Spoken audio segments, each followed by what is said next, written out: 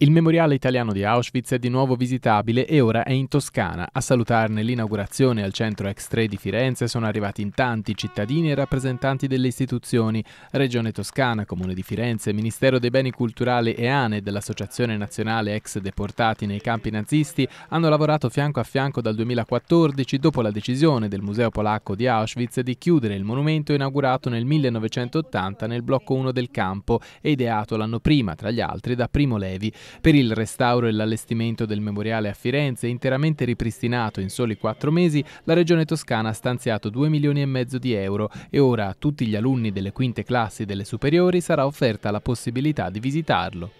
Io sono solo a dire che i giovani, ma anche i vecchi, eh? perché chi è che dimentica sono i vecchi e, e, e tra l'altro le, le vittime avrebbero il diritto di non ricordare